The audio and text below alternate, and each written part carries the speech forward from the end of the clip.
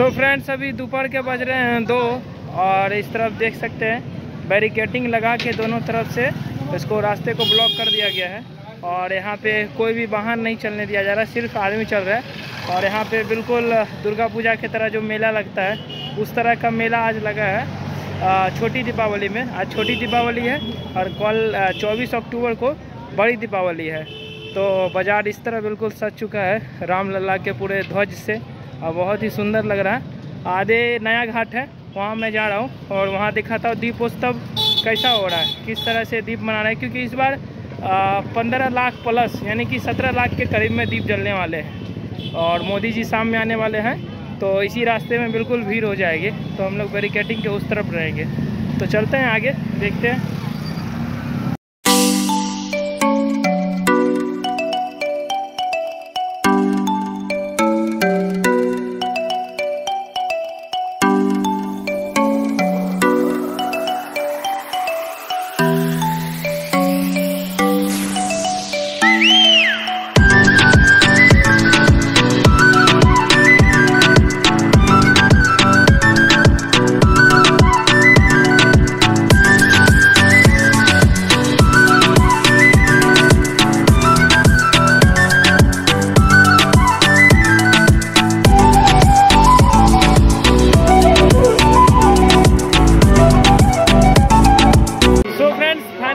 चुके हैं वहाँ पर, जहाँ पे पंद्रह लाख दीप जलाए जाएँगे।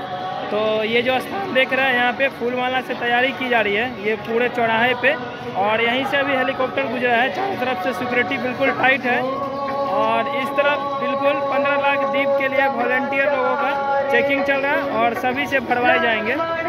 तो अभी पंद्रह लाख दीप जलेंगे शाम में। तो अभी दोपहर का चिल चला रही थी।